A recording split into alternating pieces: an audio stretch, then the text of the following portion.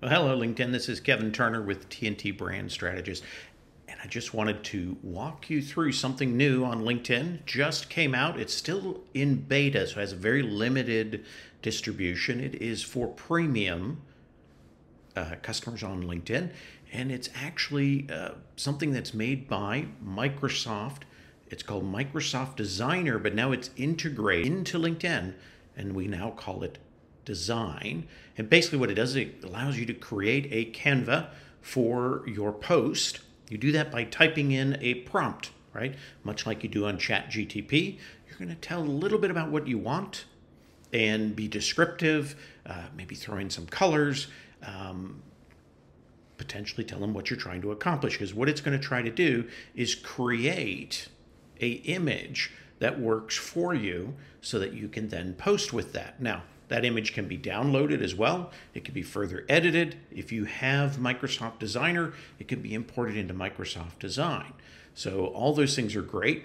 Really makes it very flexible. Now, um, one of the things that we're going to do is we're going to jump in and we actually have the ability to add an image and we're going to upload an image uh, from our desktop or you could even do this on mobile, believe it or not.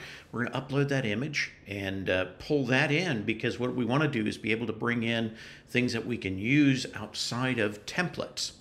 So I'm going to go ahead and I'm actually going to add a picture of me. Eh, no big deal. Um, you could add multiple pictures. Then it will look to ways of blending those in and pulling them together. So you have two options, generate and generate image. Generate is going to create a image for you, whereas uh, the other one is actually going to give you things that are kind of already pre-populated, right? Um, and it's kind of a wormhole because you can go down there. It'll design things like you'd say, uh, or want a, a Jack Russell in an astronaut suit. It's going to create it art-wise. So what we're going to do is we're actually going to hit generate, and it's generating the design right now for us because we've done that, and it usually takes a few moments. So uh, bear with it. It will go through. It'll also show you some examples as, as we're processing. And then it's going to populate what it thinks you want based on you know what you've provided it. So these are some of the samples of what uh, might be possible. I'm actually selecting one that is behind me. So there it is right there. Let me put myself back in. Um, I might even move myself over here if it allow me to. Uh, so right now, this is what it came up with you can go in, uh, you can move through different examples of that particular one. Now, what I'm doing here is I've, I've grabbed one of the title things. You can change the title in its uh, uh, geometry. You can make it bigger. Uh, you can move it to different places within uh, the graphic itself. And so all those things are kind of editable. Um, you can also set the visibility level. You know, um, is it opaque or not opaque? Uh, is it behind or in front? Um, one of the things we're going to do right now is look at, uh, we've got a lot of different fonts. It is Microsoft, so they've got a lot of fonts at their hand. Um, they're not quirky fonts, uh, you know, in the sense of uh, some of these uh, structures have uh, fonts that are a little off. They almost look like what you're used to. Um, these are actually Microsoft fonts. So you can go in there, you can select those. Um, they also have it so set up so that you can pick it out of category, like friendly, fun, handwriting, you know, professional, those kind of things. So you got categories that you can choose from. And, you know, that's kind of very handy in, in building this out. Uh, very quick to use. Um, I'm just going to go to a Sans, sans serif, uh, and find something that's not too fancy. That's what I'm going to use. Um, I'm going to go with that uh, there you go. Maybe a retro uh, is, a, is an option or something like that.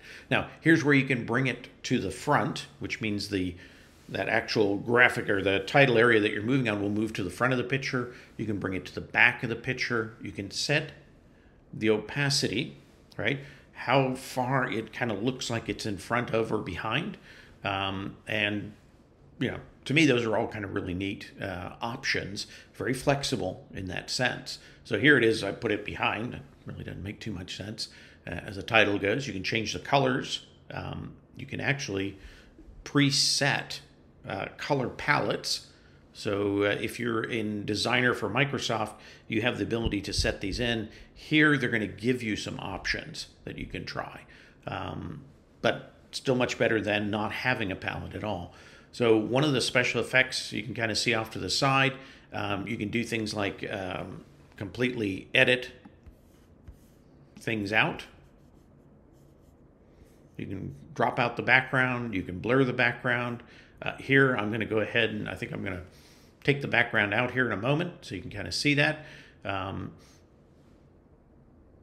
there it is. It's going to take a second. It's going to take that blue right out. If that were a more complicated background, it would still do a really good job of doing that. And I like that.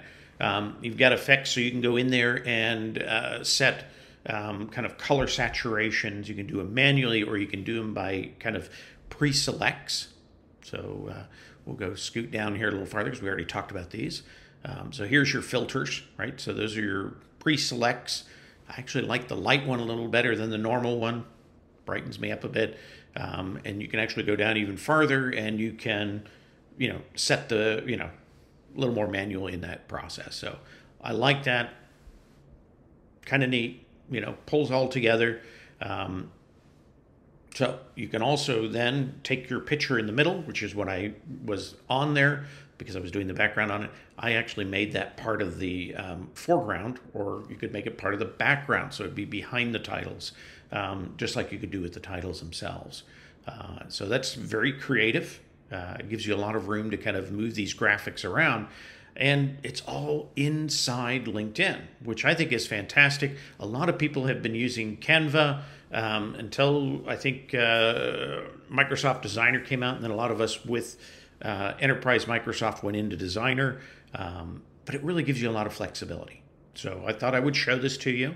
Uh, I may go into uh, a little more into the design of um, uh, art elements to it uh, on the next video, uh, but uh, I thought that was kind of a good way to start. Now these are backgrounds that you could pull in. If you wanted to pull in backgrounds, you could type in what you're looking for. It's going to create those. So one of the things I thought, ah, maybe I can get a handshake in here.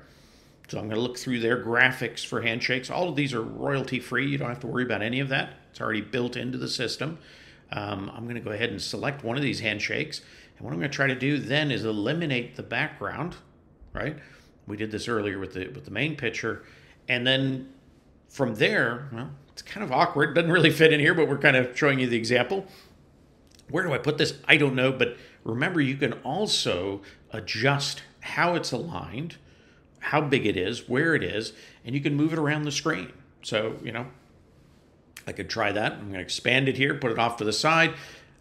I still don't really like it, so I'm going to get rid of it. That's an option. I'm just going to delete that. You could try other things, but it gives you the ability to really kind of layer these pictures a little bit more than maybe what you're used to. Now, you do have the ability to bring in, you know, kind of pre-sampled um, template uh, sayings and things like that. They're already there. You can use those. Uh, you can actually retype them if you want to use what they look like, but you don't like the wording. All that's available in here. I think I throw grand opening. Makes no sense at all, but we're just trying to show you what's going on here. Um, you can change the color of the font as well. You can see the little circle up top. So a lot of flexibility.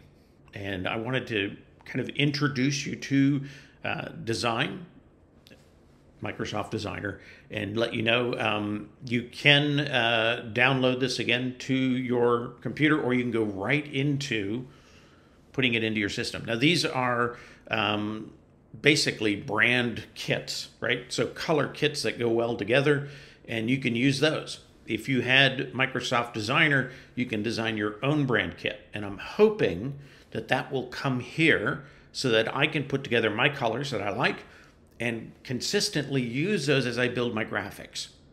That to me is is a huge step. It's what's missing here today, um, and I hope that changes very quickly. So I just uh, I can download this. You can remove the watermark, and that's a actual digital watermark. It says that this was designed by AI, and you can remove that if you don't want it. That's your option because you now own this, and I think that's kind of neat. Make the background transparent if I wanted to put that onto other things.